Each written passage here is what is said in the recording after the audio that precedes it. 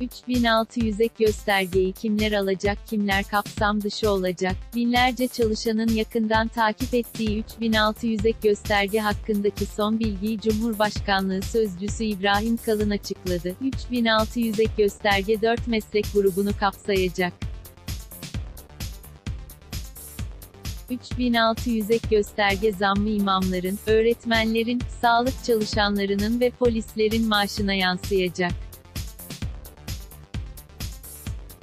Peki 3600 ek gösterge ne zaman çıkacak? 3600 ek gösterge yasası hakkındaki son durumu ve yeni haberleri binlerce kamu çalışanı, memur merak ediyor, araştırıyor. Cumhurbaşkanlığı Sözcüsü İbrahim Kalın, sarayda yapılan kabine toplantısı sonrasında binlerce vatandaşı ilgilendiren 3600 ek gösterge yasası hakkında açıklamalarda bulundu polis, hemşire, din görevlisi memurların yanında kamuda idareci olarak çalışanları da ilgilendiren 3600 ek gösterge yasası ile ilgili son durum vatandaşlar tarafından merak ediliyor.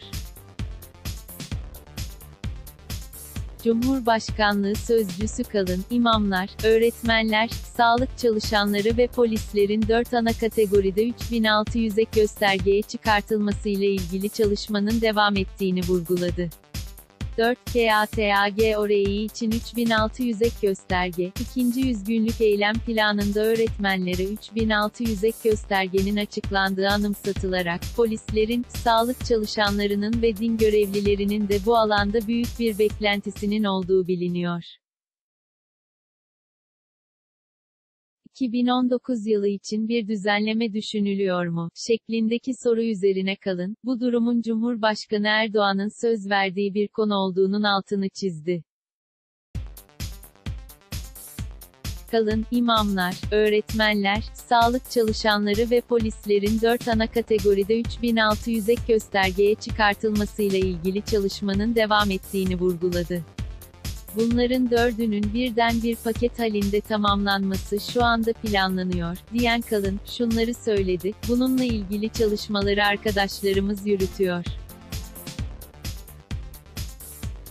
Farklı meslek sektörleri olmakla birlikte, bunların bir araya getirilerek tek bir paket halinde geçirilmesi planlanıyor.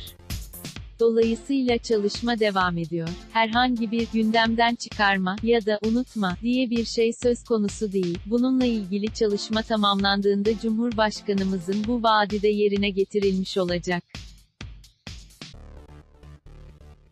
Henüz bir tarih veremiyorum çünkü bir takım idari ve mevzuatla ilgili düzenlemeler gerektiren bir konu ama konunun yakından takip edildiğini ifade edebilirim. Ek gösterge ya da 3600 ek gösterge nedir ek gösterge? Polis, öğretmen, hemşire ve imam gibi devlet memurlarının maaşları, emekli maaşları ve emekli ikramiyelerinin hesaplanmasında kullanılan yöntemdir.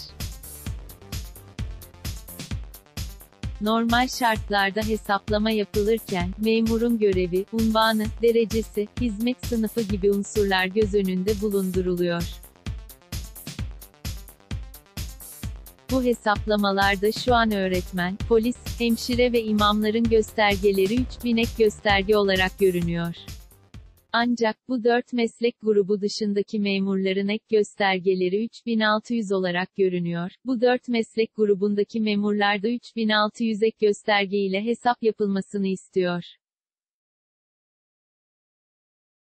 3600 ek gösterge gelince ne olacak? Peki ek gösterge değişim, yani 3600 ek gösterge ile bu 4 gruptaki memurların maaşlarını ve emekli aylıklarının hesaplanması halinde ne değişecek? Memur ya da emekli maaşları ne kadar artacak? Yıldız öğretmen, polis, hemşire ve imamların maaşları 3600 ek göstergeye göre hesaplandığı takdirde, 25 yıllık bir hizmeti bulunan bir memur, 1 bölü 4 dereceden emekli olduğunda 2950 50 lira emekli aylığı alacak.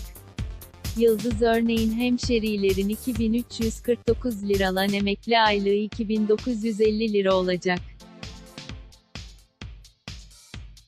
Yıldız aynı derecede bulunan öğretmenlerin ise 2417 lira olan emekli aylığı aynı şekilde 2950 lirada eşitlenecek.